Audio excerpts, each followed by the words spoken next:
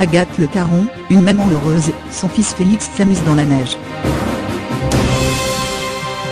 Les chutes de neige sur Paris m'ont fait des heureux, comme le fils d'Agathe Le Caron.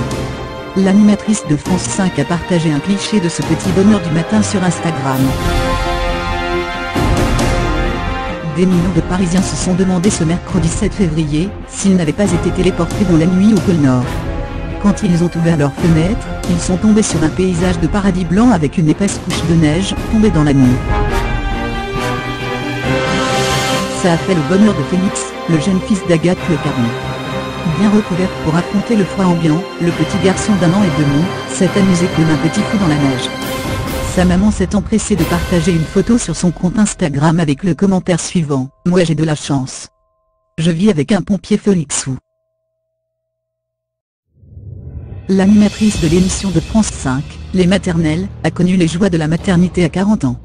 En 2014, elle est devenue maman de Gaspard, son aîné, avant la naissance de Félix en mai 2016.